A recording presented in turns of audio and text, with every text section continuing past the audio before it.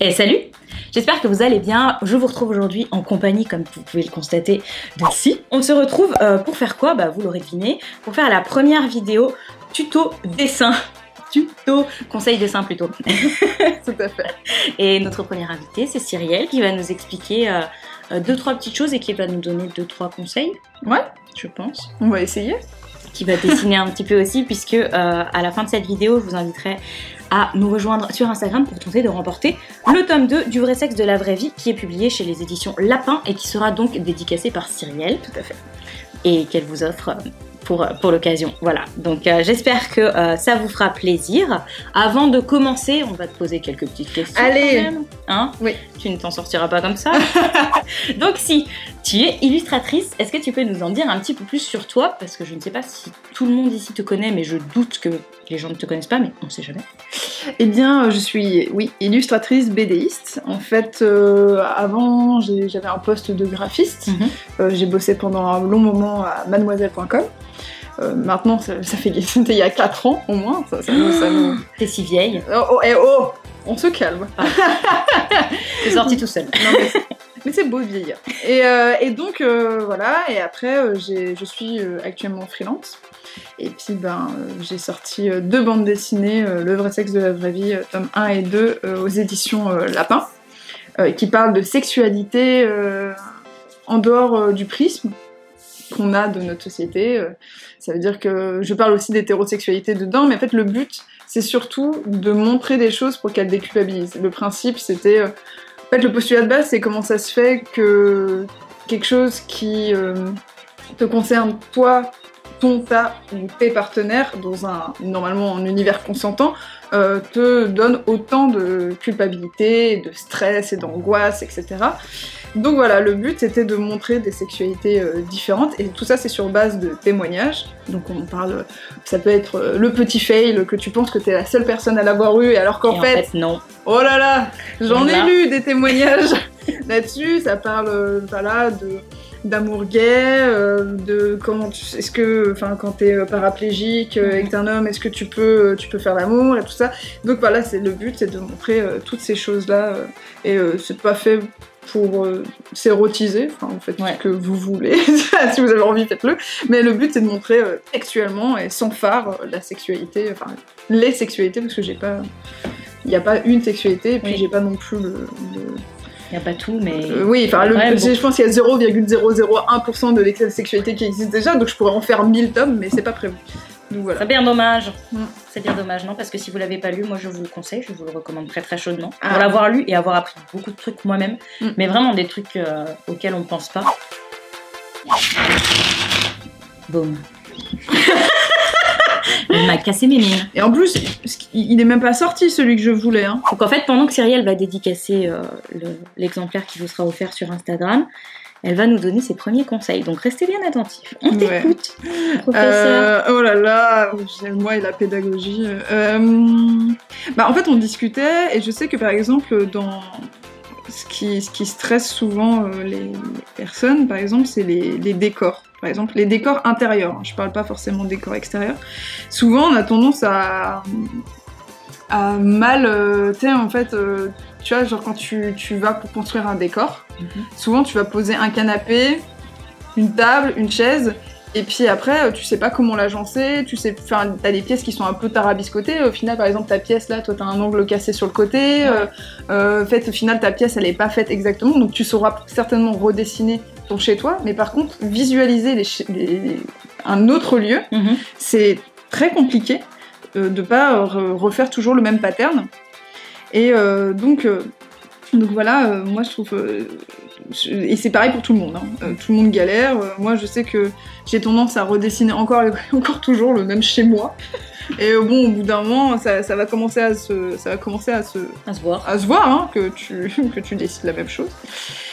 Et donc, euh, bah, euh, moi, mon, mon petit, mon petit tips, c'est euh, faire un mashup de Pinterest. Déjà, Pinterest, c'est la banque d'images que tu te crées et Enfin, moi, j'utilise, je l'utilise à balle. Alors, j'ai un milliard de tableaux euh, cachés Mhm. parce qu'ils sont ma propre euh, ref, etc. Ça me permet, ça me permet d'avoir toute ma, toute ma banque d'images. Et euh, oh là là, c'est beau feutre. Euh, ça? et ça, je le combine avec euh, les catalogues de décoration d'intérieur. Genre le catalogue Ikea, moi j'en ai rien à péter hein, de, de Ikea, mais par contre ça te donne des des des, euh, Des des objets. décos différentes parce que tu as tendance à dessiner que la déco qui te plaît alors qu'en fait non des objets Mhm. euh, par exemple euh, t'as tendance à pas toujours conceptualiser tu sais genre par exemple les plantes on a tendance à en foutre partout mais euh, je sais pas euh, on n'imagine pas forcément toi t'as une malle au fond sur laquelle il y a ta box. Et ben tu vois pour, la, pour rendre une pièce encore plus vivante, c'est ce genre de détail, tu vois. Quand les gens vont savoir que la malle Harry Potter, euh, je l'utilise comme support de box free box, ils vont se dire mais mais, elle est sérieuse. mais non. Mais oui, oui, non, mais je vois tu vois, c'est en fait ce genre de choses, en fait, le. le... Oh, ils sont cool, faits. dire. T'as vu Ouais. Attends, arrête-toi juste secondes. réussir à rendre euh, vivant un décor et pas juste une table, une chaise, enfin Ouais. comme si les huissiers étaient passés. Tu vois. donc, euh, donc voilà, et en fait, euh, ben, Ikea, ils sont très forts pour ça, pour, euh, faire, euh, pour faire des trucs qui sont vivants. Et euh, je- attention, hein, je, je suis pas là, ce n'est pas un post sponsor Ikea. Attends, tu veux dire les trucs qui sont vivants? Bah, dans le sens, euh, en fait, euh, la mise en scène? Ouais, la mise Ah en oui. scène. En fait, faire une mise en scène vivante, c'est compliqué, hein, parce qu'on a tendance à vouloir tout bien ranger, Ouais, ouais. alors que chez toi, c'est jamais bien rangé, euh, t'as des papiers qui traînent à gauche et à droite, Mhm. enfin, c'est... C'est un peu compliqué. Et au-delà de ça aussi, ce qui est compliqué, bah, par exemple, bon, alors Ikea c'est vachement bien parce que bah, voilà, euh, tu, le vois, mais tu le vois que d'un seul côté. Ouais. Euh, la grande technique de pas mal de mes potes, euh, on n'a pas tous un master en 3D, hein, Mhm. pour pouvoir modéliser ça, euh, c'est les Sims. Et je Moi, pense je la que, connaissais parce qu'elle me l'a dit juste avant. J'étais en mode ça, tu le dis.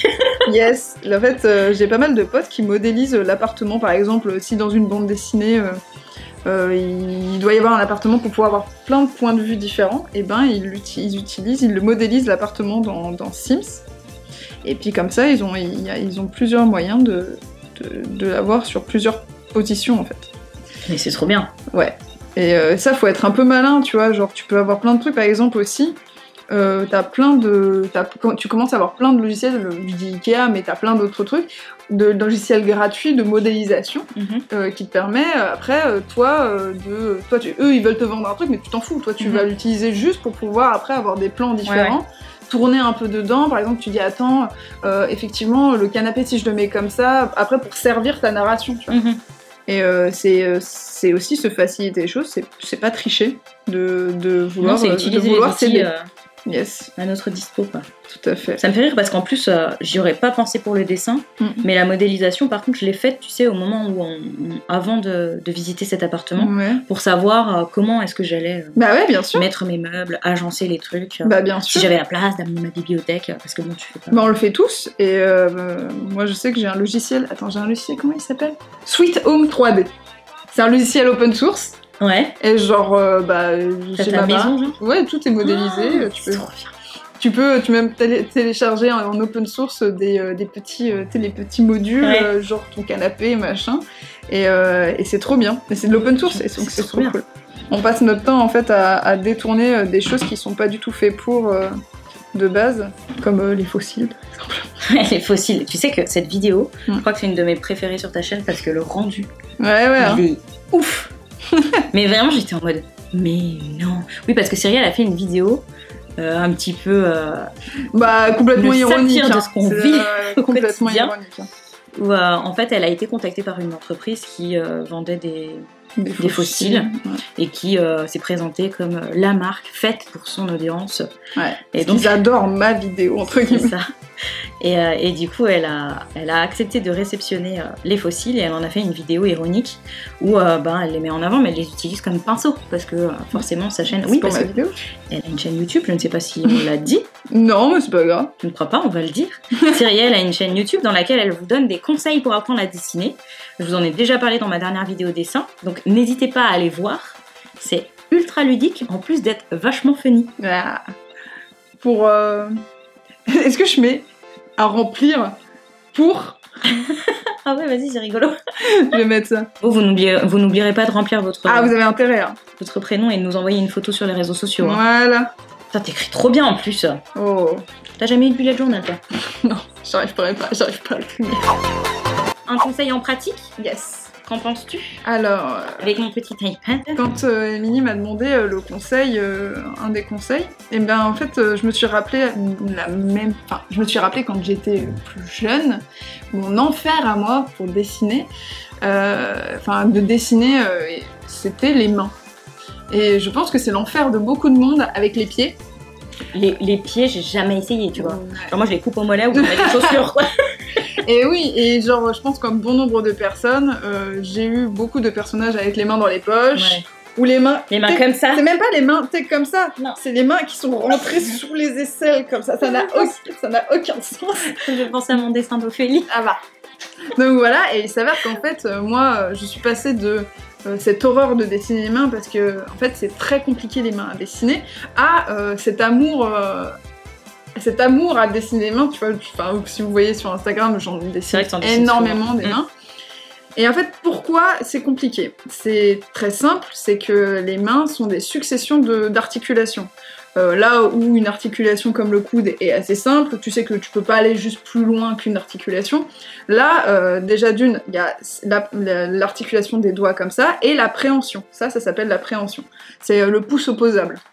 C'est ce qui a fait de nous euh, les- l'espèce euh, qui détruit la planète entière. Voilà, c'est uniquement ça. C'est à cause de nos pouces. C'est parce qu'on a pu euh, construire Ouais. des, euh, des- on a pu construire des, euh, Des outils. des outils tout ça. Vous, vous ne saviez pas, nous sommes dans C'est pas sorcier, voilà. Mais oui, Jamie. Oui Allez, chauffe Marcel, chauffe Montre-nous Donc voilà. Et en fait, donc voilà, c'est euh, c'est ça qui est compliqué. C'est ça aussi. Là, par exemple, aussi, ça, on peut aller très loin dans le. On n'a pas tous la même flexibilité Voilà, c'est au ça. niveau des doigts. Et donc, euh, ben, il faut le tenir, faut tenir compte de tout ça. Donc, il faut faire plein de dessins euh, euh, un peu anatomiques, chiants, pour après le synthétiser. On va l'importer. Donc, moi, je- nous, on utilise Procreate, mais euh, vous imprimez la photo, euh, vous la mettez, euh, vous faites une table lumineuse avec votre fenêtre, ça marche pareil. hein. Donc, hop. Donc, cette main, comment ça fonctionne? Faut déjà intégralement euh, la décomposer pour savoir, euh, comment, on peut, euh, comment on peut réussir à, à la euh, synthétiser. Donc, truc tout simple. Déjà de base, on symbolise toutes les articulations. Mais les articulations simples, qui veut dire... Donc on va les symboliser par des ronds, par exemple. Et qu'est-ce que c'est que ce bordel Euh, J'aurais dû ramener mon iPad. Par exemple, là on a une articulation, Ah oui. là aussi, là aussi, là aussi, en toute logique, là aussi, hop. Il y en a aussi une, il y en a deux, il y en a deux, dans le pouce, donc une là, une là, Mais alors attends, là, et en c'est fait, pas... et si si, et en fait là le truc c'est que Ah ouais. moi je dessine, là tu vois c'est des ronds dans Mhm. ce sens là, mais après euh, bon on pouvait aussi faire des ronds comme ça, hein, ça serait Mhm. très bien. Et c'est juste que là par exemple sur votre main, euh, là vous sentez que ça fait une boule. Ouais. Et c'est la même boule que vous avez de l'autre côté. Mm. Donc, et en plus on les voit. Hop, une boule, deux boules, trois boules. Voilà. Et l'appréhension, moi j'ai tendance à la. euh, genre faire une- juste une grosse boule. Voilà. Ouais. Donc ça, c'est à peu près synthétiquement. Je pense que s'il y a quelqu'un qui a fait des études, de- qui a fait des études de, je sais pas, en médecine et tout euh, sur la, chirurgie de la main, il va me tuer. Mais bon, Ouais. on s'en fout. Et après, en plus, aussi, il faut savoir que la main, c'est un rectangle. Donc on va synthétiser, hein, mais ça fait hop, hop, et hop. Ok. De toute façon, ça veut dire que si ta main, après, elle est de profil, enfin, ou de trois quarts, Ouais. ça va faire pareil. Sauf que c'est un rectangle de... Ouais. De, De profil. de profil, quoi, hein, de perspective. Mhm. Et une fois que t'as ça, et bah t'as déjà pas mal de ta main, hein. Ça veut dire que quand tu... T'as juste à relier. T'as juste à relier. Ah, on va quand même rajouter un truc, on va quand même rajouter le, le, le poignet. Il faut savoir que le poignet, c'est une succession de petits os, mais ça on s'en fout. Mais c'est juste que pour que ça puisse faire ça, ça, des torsions et tout, bon, c'est quand même quelque chose de... de- d'impressionnant quand même Ouais. au niveau. Enfin, je- vraiment, je vous conseille d'ouvrir un, un manuel d'anatomie pour pouvoir comprendre le corps humain. Ah ouais Je, je vous le conseille vraiment. Donc euh, c'est des bonnes grosses fondations, ça met du temps à se mettre en place, mais après ta maison elle est stylée dessus, elle bouge pas. Ouais. C'est une base que t'as. Et donc là, donc on a notre carré qui est là, on rejoint, donc on fait une boule, on fait toc, toc, toc, au coin du carré. Mhm. On prend au carré, toc, toc. Bon, après, vous, vous faites, une, vous faites juste un, un knacky, quoi. Hop. Jusqu'au coin du Ouais. carré, et ainsi de suite. N'oublions pas que ce rond que j'ai fait là, Mm. ben en fait, Ouais, c'est ça, ouais. Donc il faut que tu, tu le montres. Ouais. Ok. tu vois? Hop.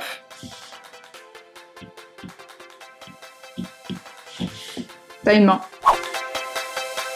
Commencez toujours simple parce que en fait euh, les doigts ou t'es en mode genre comme ça avec euh, avec des raccourcis. Mhm. Parce que c'est un raccourci, Ouais. c'est quand euh, il y a une perspective et que forcément bah, tiens, Bah, tu vois plus, quoi. comme ça. Ouais. Et ben vous voyez pas l'intégralité là, vous voyez juste un petit boudin, sauf que c'est très dur Ah, à ça dessiner. ouais, ça c'est c'est compliqué. hein. C'est insupportable. Là. Là. Là aussi. Attends. Là. Yes. Là.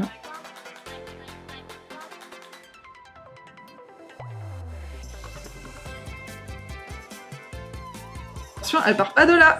L'appréhension, elle part De plus haut. du pouce, tu vois. Ah, elle part du pouce. Tu vois, genre. Putain, mais toi, on la voit vachement ton appréhension. Regarde, moi, j'ai pas la même. hein. Mais non, mais si c'est normal, regarde. Tu vois, quand tu fais ça, hop, regarde d'où elle part. Elle part de là. Ah, donc comme ça. Ouais. Elle est vraiment chelou, ma main, là. Mais non. Et regarde, et après, tu. Vas-y, referme. Redescends. Nickel. Voilà, enlève tes cacs maintenant. Regarde, j'ai ma main qui est bloquée, là.